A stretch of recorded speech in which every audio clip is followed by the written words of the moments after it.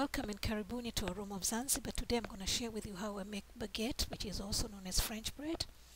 So over here I've got some all-purpose flour. You could do half and half with the bread flour. I also have some yeast and a mixture of sugar and salt and some warm water. Okay, to start with I'm going to mix my yeast and the warm water and keep it aside for about 10 minutes and uh, once that's ready I'm gonna stir it a bit add the sugar and salt.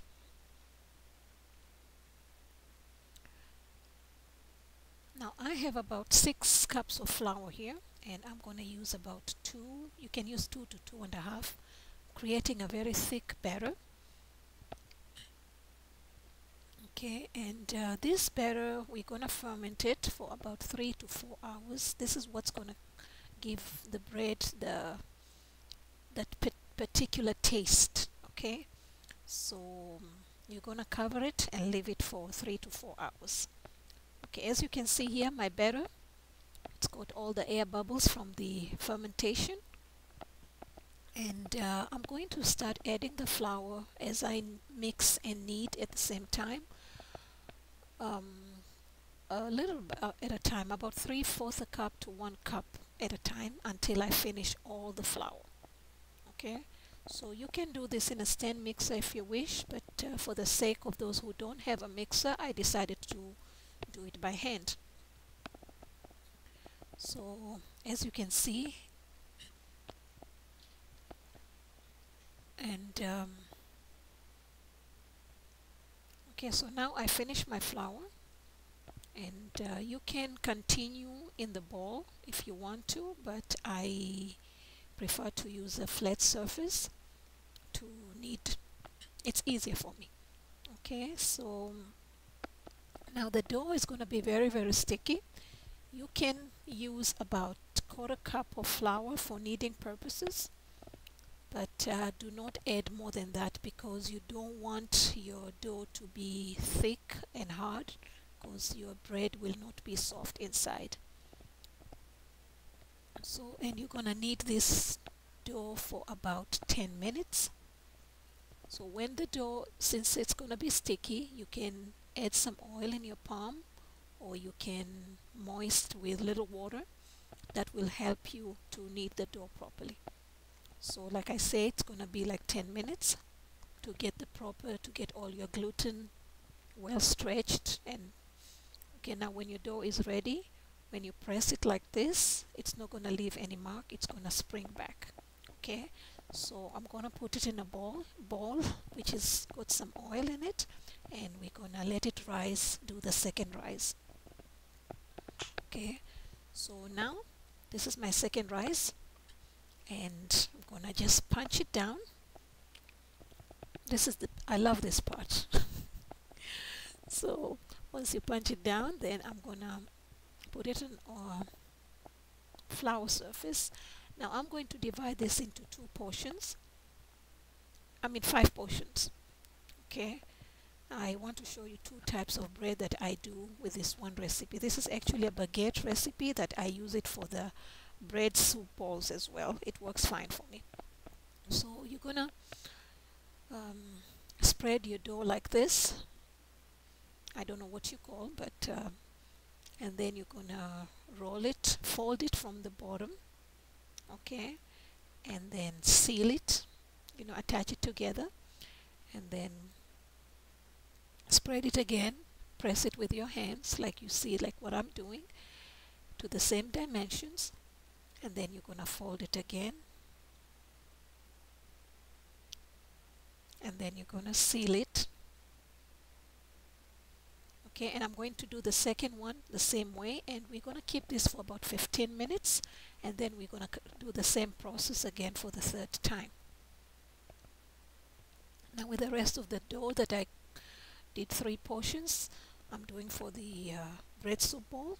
You want to pinch it like this to make a nice round circle okay?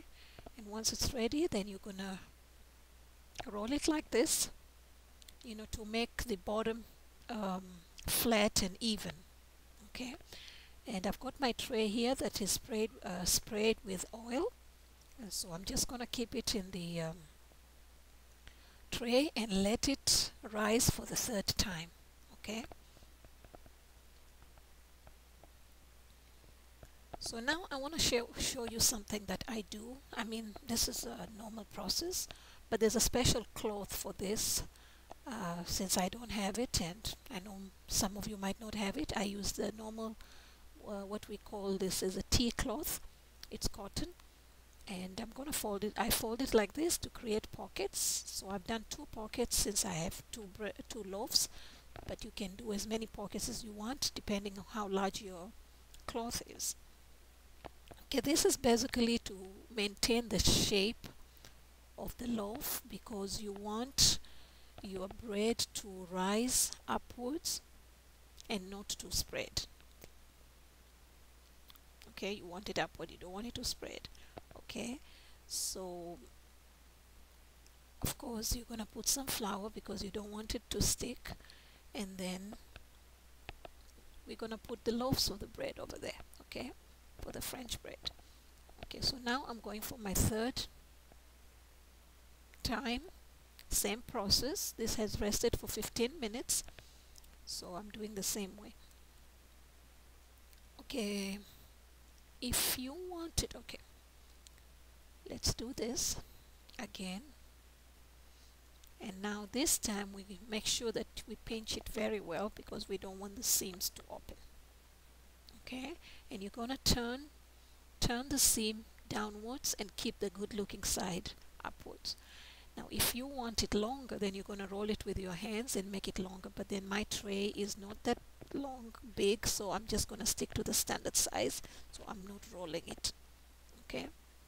So now I'm ready to put it in my cloth and you just want to put it in there and uh, make sure that uh, the seam side is at the bottom okay and once you've put both the both the loaves you want to make it stand upwards uh, you know and the cloth is big enough to make your loaf covered okay? So I'm going to continue this with the second one. Okay so now this has risen. Just score my my my balls my soup balls and then we're gonna egg wash them so I've got my oven ready. It's heating up at 425 Fahrenheit. And while I'm heating my preheating the oven I have got a tray of hot water of water that's of course going to be hot. I'm trying to create a steam there that is going to help my bread be crusty outside and soft inside. Okay so now I'm ready to put this in the tray uh, there is a special tool that they use but I don't have it so I normally just gently roll it out and there you go. Okay. Simple. Okay and I'm gonna do the same way for the second one.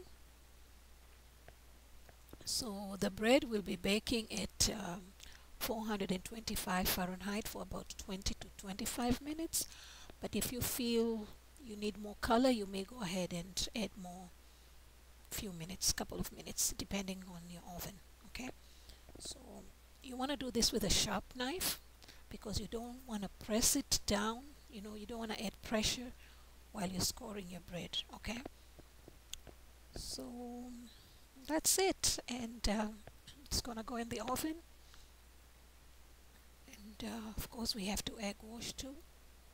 And if you don't have eggs you can do milk you can do oil if you want. Um, olive oil you can do butter you know. So now as you can see here my steam from the water. And um, there goes in my bread. Like I say this is going to create that special crust that we are looking for the crispy and hard crust. Okay so here my soup balls are ready and uh, you can here this is supposed to have this hollow sound and we do have it. Okay of course uh, these have been rested they are cooled so I'm ready to make an insertion. I'm using this I usually use them for every any kind of soup that I want but today I have got some chili and my kids love it love the chili in the bread bowl. This is a meal on its own you don't have to do much okay? And um, we eat both. We eat the the ball and we eat uh, the stuffing that I took it out okay? So that's it. And um, I do have the recipe of the chili. If you're interested you can try this. And do let me know how you like it or how maybe you don't like it. It's okay. We all have different uh, taste buds and uh, okay so for the um,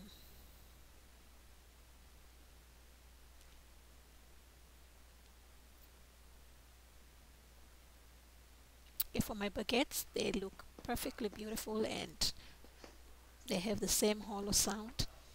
And but uh, make sure that uh, you let them rest for 10 minutes before you cut into it as you can see mine they're very hot but I have to go out and I know when I get back this is not gonna be there's gonna be no bread at all.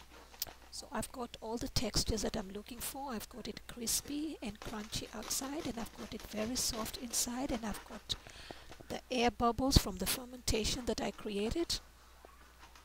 And uh, it's not much. I could have done more. So thank you so much. For more recipes please visit me at aroma of Zanzibar